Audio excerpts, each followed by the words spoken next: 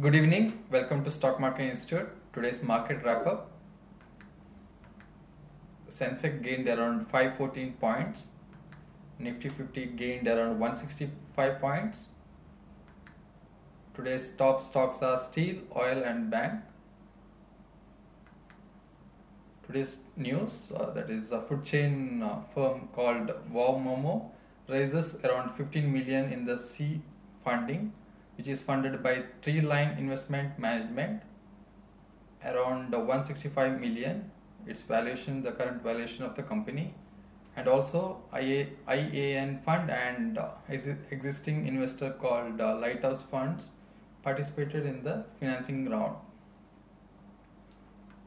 Coming to next uh, which is Dream 11 which is a gaming platform which is gained around uh, 2000 crores revenue in physical uh, year of 2020 with around 181 crores in profit. Last year's losses around 87 point crores in fiscal year of 2019. Coming to next news, which is uh, next Nestle, it is planning to and it's already increased their uh, female employees and now the current uh, hiring percentage is 40 2% in 2020. The presently around 23% of Nestle's India's workforce are women. Coming to next news which is Glenmark.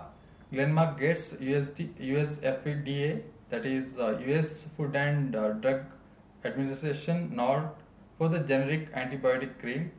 This company is planning to market this cream around 1 percentage.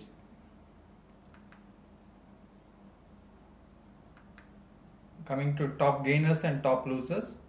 Top gainer is uh, JSW Steel which gained around 5 percentage and top loser Maruti Suzuki fell around 2 percentage. Gold uh, it gained around 22 point, uh, rupees and silver gained around 688 rupees coming to USD INR which is uh, gained around 7 uh, fell around 7 paisa and euro gained around 17 paisa. Petrol diesel are in stagnant price. Crude increased 29 rupees